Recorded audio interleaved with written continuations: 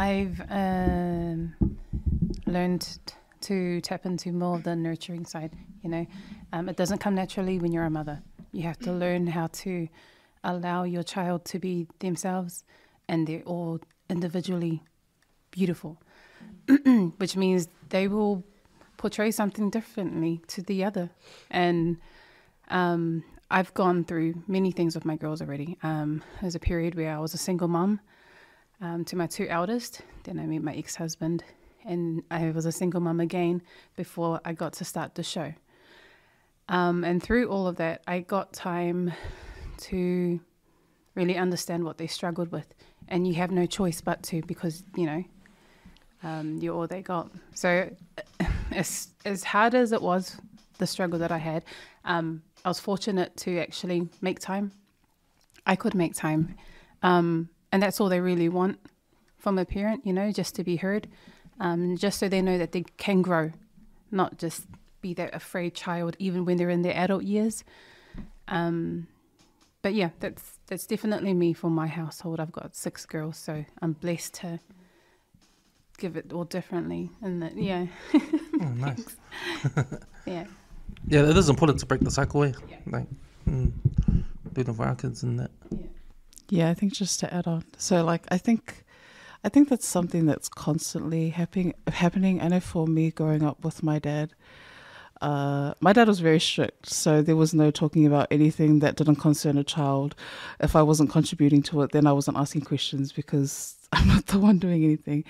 But I think um, now, even as a mom, um, I'm having to come out of my shell to talk to my dad about things and to tell him why.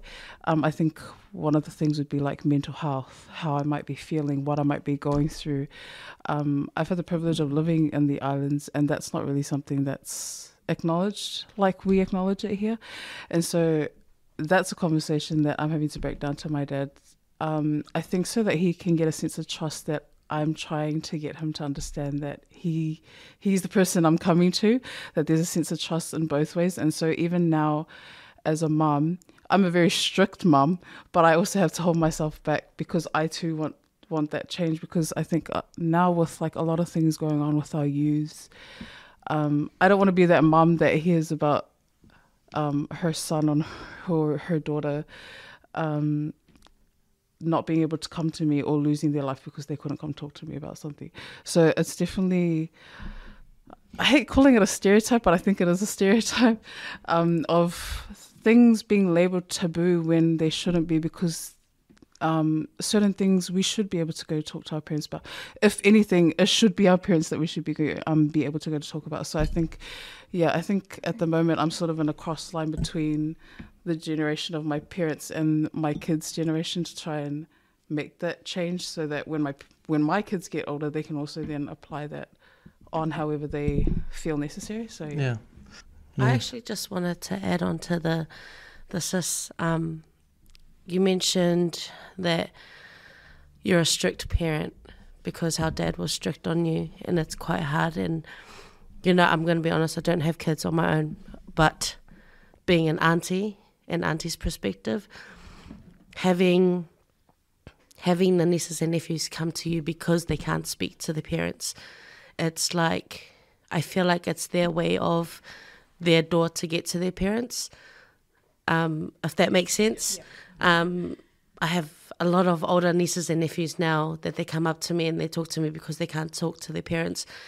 And for me, being an auntie and seeing how they struggle with talking to their parents, because I did as well, um, I feel like that's my door of being like, hey, sis, um, I know you're trying to be, like, I know you're trying to do this and I know you're trying to do right by your kids um, and all of that.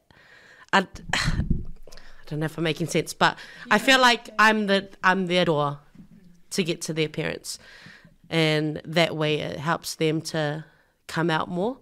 Um, but honestly, just being an auntie alone, I feel like just because I'm I'm an auntie, I do see um, my kids growing up. Their kids are my kids, and I will always hold that. Um, and in saying that, it is hard for the younger generation to speak to their parents, but then trying to um, how would you say? What's your favorite word? Trying to speak life into them and saying, "Hey, it is okay to go to your parents. If you need someone there, I'm more than welcome to." You know, he didn't even answer my question, but I just had to look look at him.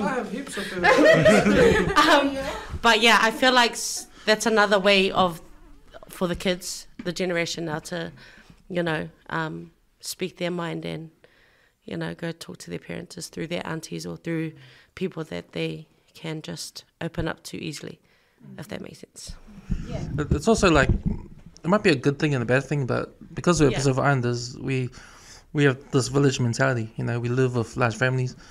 Yeah. Our cousins are more like brothers and sisters. You know, yeah, yeah. it's not like the Europeans. They're just the immediate family. That's it. Yeah, They don't, they don't have an extended family like their own. Like they don't live in a village, so they have to talk to each other. Yeah, Uh, pro- yeah. Probably that's why they're they they don't have maybe they don't have these same problems because they do talk to their parents because there's only them. They got no one else to talk to. But with us islanders, you know, we got everyone we to talk to. Yeah. You know.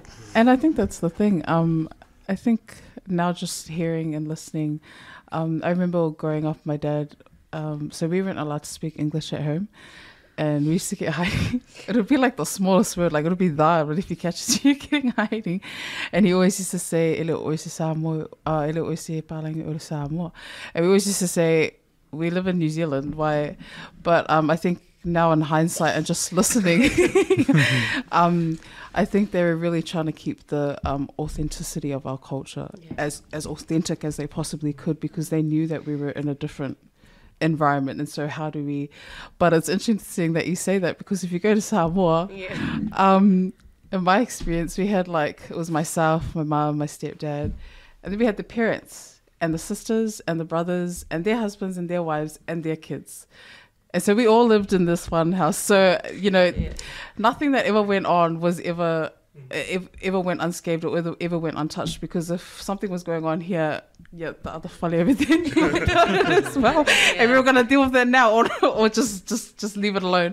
Yeah. so i think um I think it's definitely a conversation that could go both ways. I think we, as younger generations, need to have that courage to say or identify with ourselves if we really want to know who we are, where we come from. Let's spark that conversation as scared, as scared as we are. And then, even as parents, we need to be open to say, our kids are not going to get the knowledge from anywhere else. So we need to be open to share with them, to discuss with them why things are done a certain way or why things, you know, why things shouldn't be done a certain way.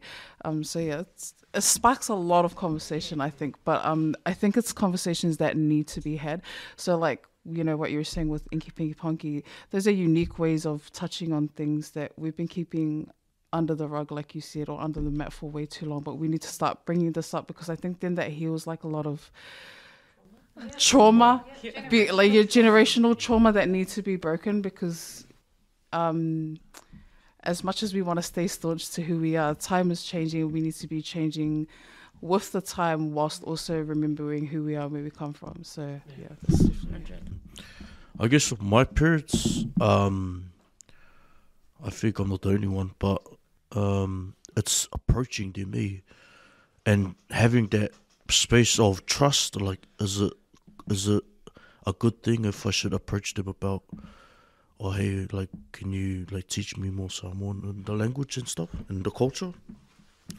But I guess I think that's always been a challenge to me sometimes, like whenever me and my mum have a conversation, it's always just strictly English, eh? But then she'll just remix it with some Samoans in between, know what I mean? But it's like, if I was to speak Samoan to my mum, I, I feel awkward because how I started to learn the language was through my, my nana, eh? was through my grandparents because I stayed with them for a long time.